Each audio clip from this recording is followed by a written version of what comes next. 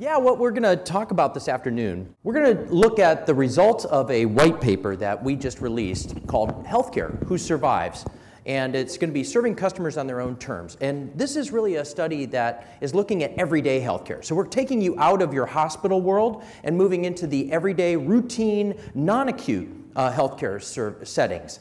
For those of you who are not aware of uh, WWD Partners, we are a customer experience innovation firm. We go, uh, our services cut all the way from insights and consumer-based uh, studies on through to strategy development, design, and on through to scaled rollout and execution. Uh, we have 14 offices, about 400 associates. And what makes us unique is that our heritage really is in retail. And we work with virtually every major retailer Walmart, Target, CVS. We are responsible for the Health Hub concept that you see in Houston, Texas, uh, getting CVS into the, um, into the chronic care world. And we work across many consumer brands. So we have a deep consumer perspective. And that's where we start. So we really wanted to understand what consumers thought about everyday healthcare. And we know that the family doctor is really an everyday healthcare institution in America. And Yet there are lots of challenges around this primary care family doctor relationship. We don't have enough of them. There's a shortage of primary care doctors. They're, getting an appointment is virtually impossible then for, for many customers. It takes an average of 17 to 21 days, depending on what data you're looking at. Out-of-pocket costs are now starting to take, take hold in the consumer psyche. They're starting to think, well, I'm paying for a lot of this on my own, so I'm going to choose who I'm going to go to. And this has really introduced the idea that, wow, maybe I should really look around at what other alternatives are there for healthcare for my needs. So we wanted to understand how consumers were thinking about this. And so we, we did an online study with 2,600 consumers across a variety of different age spectrums and, and genders and so forth, and really made it nationally representative to understand how they were making decisions about what they want from everyday health care. And we focused in three primary, we, we looked at emergency departments to some degree, but we really focused on three primary service offerings primary care, urgent care, and retail clinics. And we wanted to see how people were making decisions about those different alternatives. Let's start with what they consider. When you have an issue about everyday healthcare, when you have a routine need in healthcare, what's the first thing that you're thinking of and who are you considering going to? Well, as we would expect, with a primary care doctor is still the dominant platform that people consider, with 86% of all consumers, when you look across the spectrum, considering a doctor. But we also saw that 42% considered an urgent care, and 27% considered going into the emergency department, and 18% considered a retail clinic. So there's a little bit of a, an upsurge in this consideration amongst these consumers. And this is especially important when you put it into the context of the access of these various channels in America today, because we have 246,000 primary care physicians, 7,600 urgent cares, and about 3,000 retail clinics around the country. So the accessibility of primary care is so much greater than it is for any of these other platforms. So the, put those numbers into context, it makes it a little bit uh, more stunning. When we looked at the top reasons why consumers visited these various platforms, you see that there's a radical difference in what they're looking at and what they're looking for. With in primary care physicians, it was driven primarily with insurance coverage and quality and a healthcare staff, the relationship that you have with that doctor. And that's what you would expect. Whereas when you're looking at urgent care and retail clinics, it's all about convenience, walk in appointments, and insurance coverage is in there as well. But it's much more about the convenience of these various channels. And that's reinforced when we ask them just open ended questions about what words they would use to describe these various platforms. And you see that the, the word clouds that are represented here with urgent care, with a quick, easy, get appointment fast. And that's the same kind of thing that you see with a retail clinic as well. It's seen as the quick, easy, fast alternative for many, many consumers. And that's when we look at it broadly.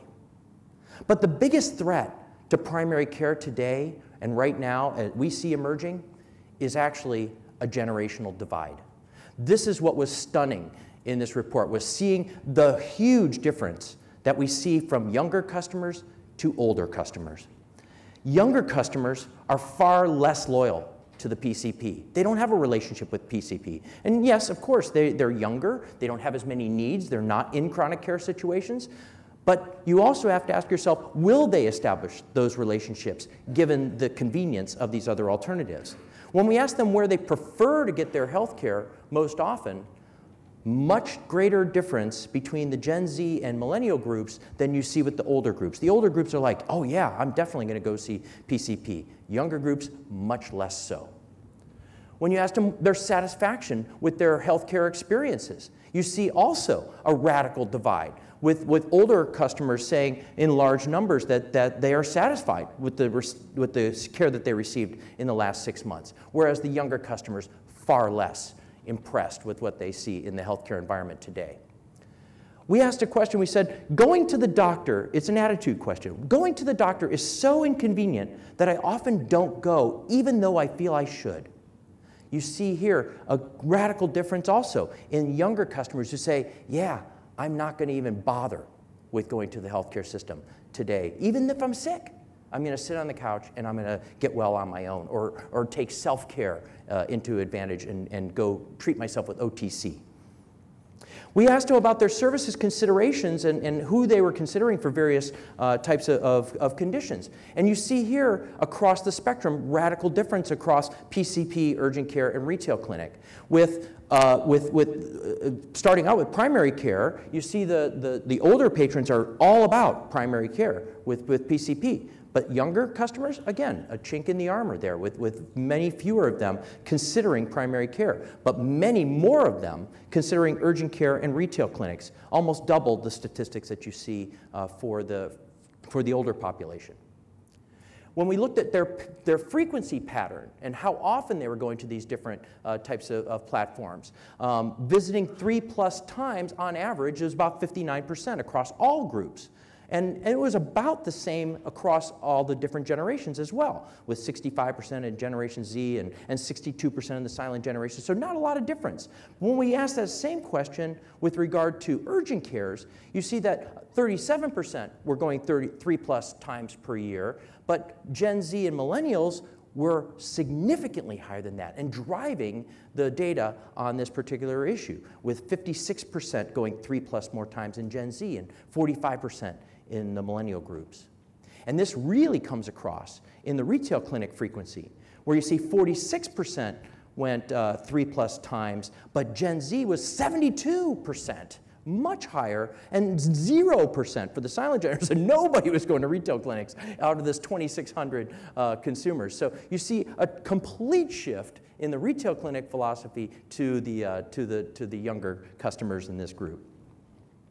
Younger customers were also much more willing to use telemedicine. We asked the question, if you could avoid going to the doctor and have all your visits through the phone, computer, or in-home devices, I would. And 40% and 42% of those younger consumers said yes to that, whereas a very small percentage of your older customers said that. So younger customers are much more open to utilizing telemedicine tools. Change we saw is, is necessary. If we're going to be, and I've heard some doubt about the role of primary care and ambulatory care on this stage today, but if we're going to be in the everyday healthcare business, if we're going to see that as a front door, we see that there are some things that we can do to improve.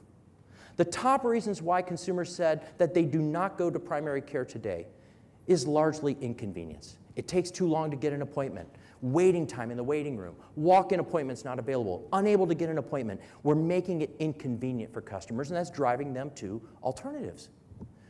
But they're also giving us permission to expand in primary care. They want more of a holistic view than just fix me health. They're, they're asking and, and willing to expand into things like tell me about sleep, tell me about weight management, Tell me about nutrition and dietary advice, mental wellness. So we saw those were the strongest things that customers were saying we would welcome those kinds of expansions in, in primary care. So for primary care, what we saw as some key things that they need to do is to one, improve access.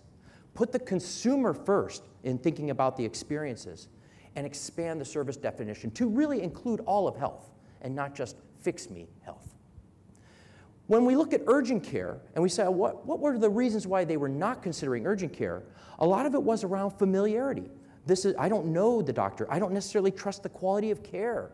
I don't, they've got professionals that I don't necessarily trust too. Those were the ones that came up the highest, as well as the price and, and cost of services and, and the fee relationships.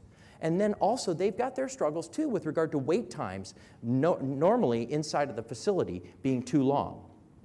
But you also see that across the generations, it's a little bit less of an issue with this familiarity with the younger customers than it is with older customers. Older customers value that familiarity much more so than do younger customers. We saw that pretty consistently.